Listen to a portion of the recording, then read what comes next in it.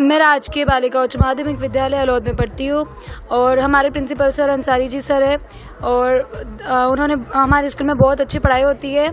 मेरे mummy papa ने बहुत सपोर्ट किया और थोड़ी मेहनत मैंने भी की इसकी वजह से बन गया।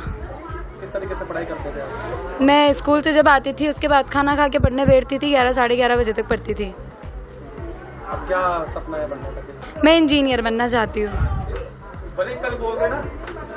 किस तरीके से सरकारी स्कूल में पढ़ाई होती है बढ़िया? बहुत अच्छी पढ़ाई होती है सरकारी स्कूल में। किस तरीके से व्यवस्था थी सरकारी स्कूल में? बढ़िया पढ़ाते हो? बहुत अच्छा पढ़ाते हैं सब टीचर।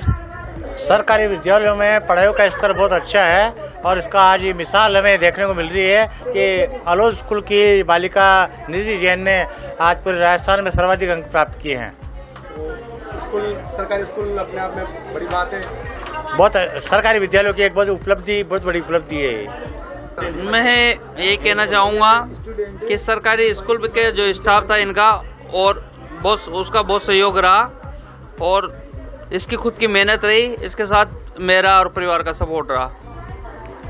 किस तरीके से पढ़ती थी बच्चे? बच्ची ये स्कूल से आने के बाद रात में 11 से 12 बजे तक पढ़ती थी सेल्फ स्टडी करती थी प्लाई बोर्ड पे एक सिंपल प्लाई बोर्ड पे चौक से लिखती रहती थी, मैं इससे बोलता रहता था, बेटा, सो जा टाइम हो गया, लेकिन ये फिर भी पढ़ती रहती थी। सवेरे वापस पाँच बजे छः बजे उठ के शुरू हो जाती थी पढ़ाई करना। खाली नहीं बेटी मतलब ये जैसे गर्मी की छुट्टियाँ लगी थी ना नाइन्थ के बाद तो इसने एक तारीख से छुट्टियाँ लगी तो सात मई से पढ़ाई स्टार्ट कर दी। छः दिन बस, उसके बाद कहीं घूमना नहीं, पूरे साल घूमने नहीं गई।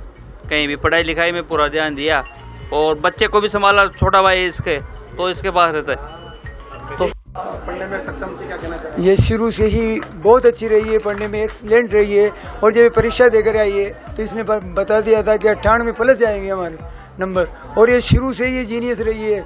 कक्षा आठ में भी इसने बहुत अच्छा परफॉर्मेंस किया है। इसके लिए लैपटॉप के ये हम्म, टेबलेट के लिए इसका चयनित भी हुआ है। और पढ़ने में सदा तैयार रहती थी। और कोई किसी भी प्रकार की कोई भी समस्या हो, अपने टीचर्स से बात करती थी, इसके डाउट्स क्लियर करने के लिए या अध्यापक जी के पास आती थी। और विद्यालय समय के बाद भी हम इनके लिए दो पाँच मिनट ये जब तक पढ़ाई पूरी निकल ले चैप्टर पूरा निकल ले, जब तक ये वहाँ बैठे रहते थे।